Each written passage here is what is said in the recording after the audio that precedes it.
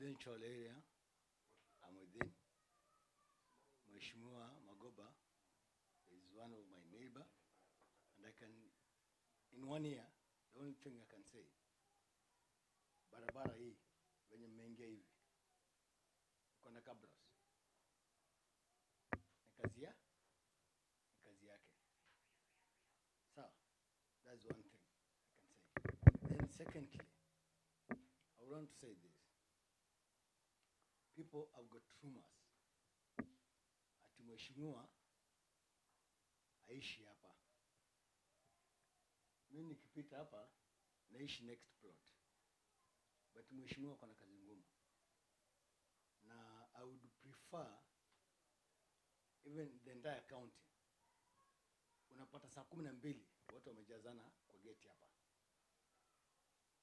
Kama mheshimiwa na enough resources za kuenable hao wamama, mtu amekuja amefungiwa nyumba, mtu amekuja na issues eh? six wa- kwa geti hapa. Huyu mtu akiwa mheshimiwa wetu hata alali, for your information. But for me, in short and simple terms, any rumor that has been going around that mheshimiwa aishi around hapa, mheshimiwa anakaa hapa, mi naishi within. Mimi napita mi napita nikienda hivi. Though ako na challenges. Challenges zinakuja in different ways. From county level national level to executive huyu mtu kama hamtamsupport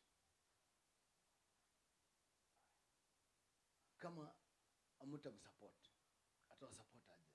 Itakuwa ni ngumu. Juu ako na familia. Eh? so at the end of the day what we are saying is eh, finally let me conclude. Mheshimiwa ajaiama ako within kuna promises alimake.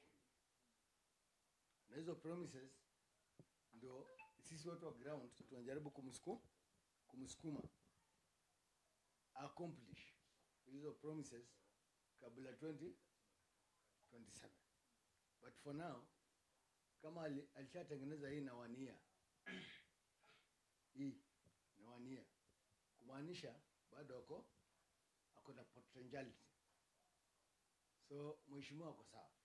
Na ama. Okay,